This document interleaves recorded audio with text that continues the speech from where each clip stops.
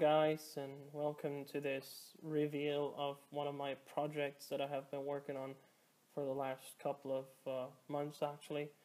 It is um, titled Der Untergang Deutschland 1945. It depicts a Russian Su-100 plus tank crew in the ruins of Berlin.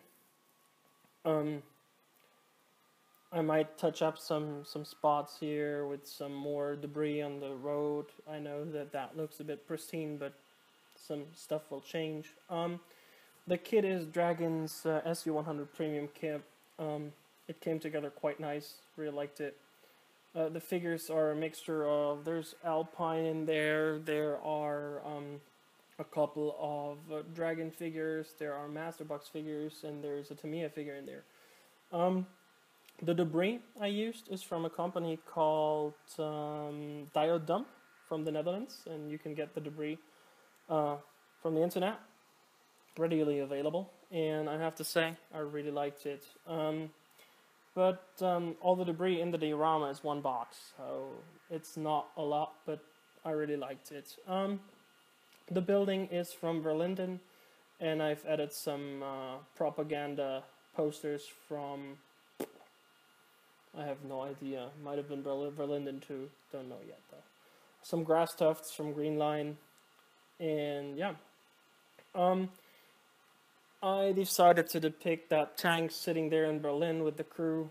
Uh, in it, the the tank commander, some Russian infantryman sitting on the tank, and uh, uh, NCO kind of is talking to the um, tank commander for whatever reason and maybe just what to do next. One of the infantry guys is inspecting that ruin.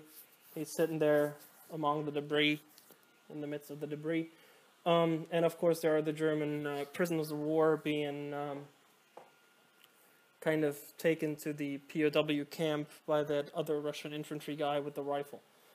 Um, all in all, I have to say, it was quite an elaborate project, and um, I did some scratch building, for example, the windows and uh, and that kind of thing. I, I made out of coffee stirrers from Burger King, and uh, so I, I, did the same with the uh, floor for the second floor. And um, I used the same method I used for my cobblestone road for this road. And yeah, I'm, I'm very happy with the way it turned out. And um, I will uh, do a slideshow with a couple of close-up pictures of both the tank and the figure and figures in the diorama. And um, I hope you guys like it. As I said, I might touch up some uh, some spots in the near future, maybe add some more debris to the road, whatever. And um, let's get started with the slideshow, shall we? Thanks guys for watching, and I'll see you guys in the next video. This is Hollow Modeling. Bye for now.